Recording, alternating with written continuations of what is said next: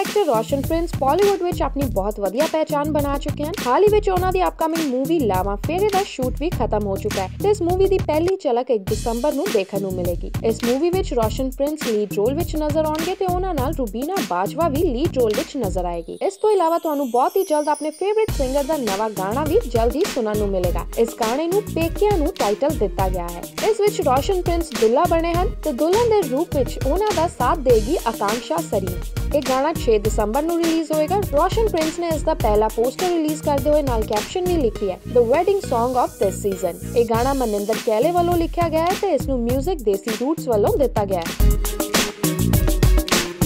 For more Bollywood and Bollywood updates, subscribe our channel Savera Star Talks.